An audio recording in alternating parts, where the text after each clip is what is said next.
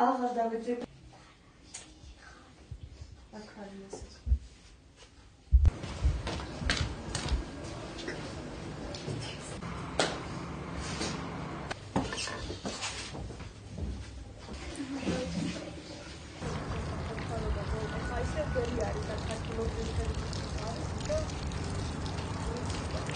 მერის ნებართვით ვართ შემოსულები. ერთი რამდენიმე ადამიანი. 12 ოჯახია, მაგრამ ამჟამად 12 ოჯახი ზოგი დაინგრა და ვერ მოდის და ესეთ დღეში ვართ.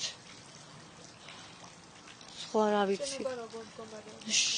შენობა ხედავთ შვილო, სულ დაנגრეული არის ავარიულ მდგომარეობაში. დაბზარულია კედლები და რა ვიცი, წყალი ჩამოგვდის. აქ მდგომ ის სახში ყოფნა არ შეიძლება. ცხოვრობ 2008 წლიდან ამ ბაღის შენობაში. ყავს ორი შვილი. მარტო ხელა დედა ვარ. ეს ჩვენ როცა მოგცეს ეს 2008 წელს შემოვედით, მაშინ გითხეს ავარიული არისო, წითელ ხაზში არისო, მოყოლილიო და დროებით გითხეს. სანამ რაღაც სადღაც გადაგიყვანთ. მოდა. რა ვიცი, ჩვენ რო არ გვაქვს არსად თავის შესაფარი, მაინც შემოვედით აქ, რა ხამ გითხეს დროებით, შემოვედით აქ, აი ასე ყოველ დღე ველოდებით ან ეხლა ჩამოინგრა ან ეხლა და აი ერთი კვირის უკან ჩამოინგრა კიბეს ასასვლელი. მეორე სართულზე ძალიან გაუსაძლისია. ძალიან ცუდი პირობები აქვს.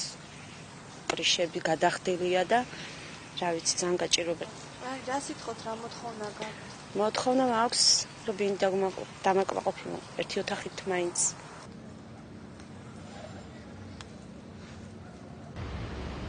ეს არის 2008 წელს შესახლებული თვითნებურად შესახლებული მოსახლეობა.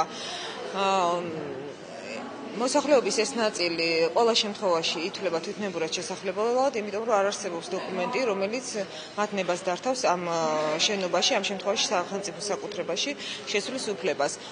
სიტყვიერი შეთანხმების საფუძველზე სამწუხაროდ ჩემთვის არ არის ცნობილი თუ არსებობდა მათსა და მაშინდელ ქალაქის მერს შორის. თუ არსებობდა ასეთი სიტყვიერი შეთანხმება. თუმცა ყველაფრის მიუხედავად ჩვენ ჩვენი პირადი სურვილი და პირველი სურვილი არის რომ ამ ხალხის მდგომარეობა გავაუმჯობესოთ სამწუხაროდ ამ ეტაპზე ეს შეუძლებელია. არ არსებობს ამ ეტაპზე სახსრები რომელიც გაუმჯობესებს მათ სოციალურ მდგომარეობას და მოაწესრიგებს ამ შენობაში ამ ეტაპზე არსებულ ინფრასტრუქტურულ პრობლემებს